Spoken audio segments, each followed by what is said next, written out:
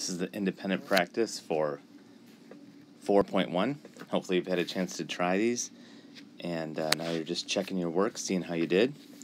Uh, so we have number one is uh, 1 fourth times 21. We want to estimate it. I have this bar graph here. I'm going to make this bar graph into four equal sections. Um, and I want to get a number here that's close to 21 but can be divided equally into these four sections. Okay, and I think if I go to 20, I can divide that by 4 easy. I get 5, 5, 5, 5. Okay, so I have four sections of 5. There's my 4. I only want one of them, so I just want one here. So it's about 5. Okay. This next one, number 2, I have 5, uh, 5 divided by 7. So I'm going to make this one whole into 7 parts. 1, 2, 3, 4, 5, 6, 7. Let's see, 1, 2, 3, 4, 5, 6, 7. Yep, 7 parts. Then I want to take this 22 and I want to divide it evenly into these parts. 22 doesn't divide evenly into 7, but 21 does and that's 3. 3, 3, 3. They each get 3, and the way I know I have a total of 27 is I have 7 parts divided times 3 equals 21. Now it says I have the 7 parts. I want 5 of them. 1, 2, 3, 4, 5. So I want this much of it. This much of my 21. And so that's 1, 2, 3, 4, 5. 5 times 3 is 15. So 5 sevenths of 22 is about 15. All right, let's look here. 5 sevenths. Now I know that 5 sevenths is more than a half. So I'm going to round that up to 1 times 1 ninth. 1 of 9 is so small, it's closer to 0. It's less than a half, that's for sure. So 1 times 0 equals 0, and that's your answer for that one. This one I'm going to do the same thing. I'm going to round them. 4 and a third. Now a third is less than a half. So it's just going to be 4 times 2 and 3 quarters. 3 quarters is uh, almost a whole. So I'm going to take that to 3. And that equals 12. So it's about 12. Okay, let's see. Cyrus is inviting 11 friends over for pizza. He would like to have enough pizza so each friend can have one fourth of a pizza. About how many pizzas should he order? So, um, it's going to be 11,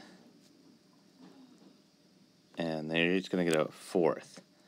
So I'm going to do one fourth times 11 That'll tell me how many pizzas I need. I'm going to do the bar graph. I like that one. Okay. One, two, three. So I take my four, four sections, okay?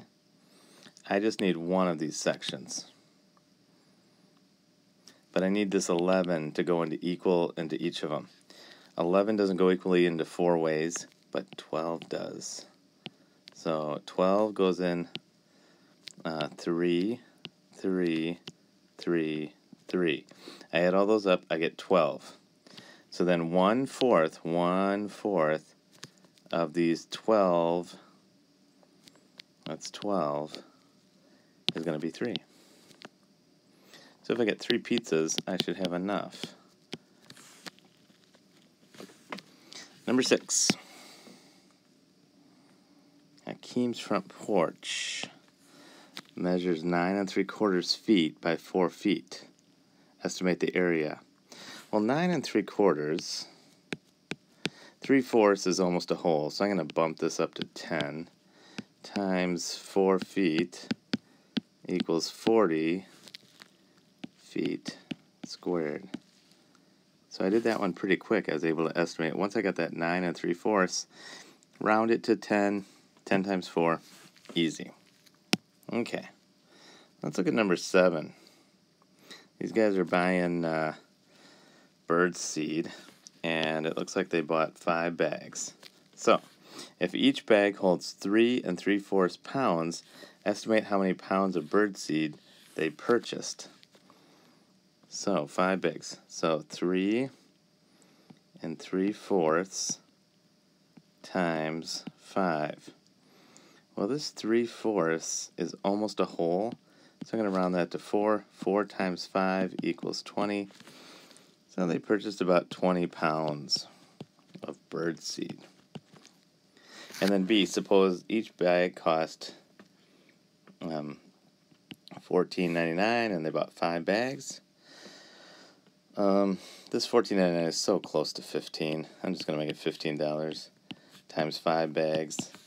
And that I can do it's 75 $75.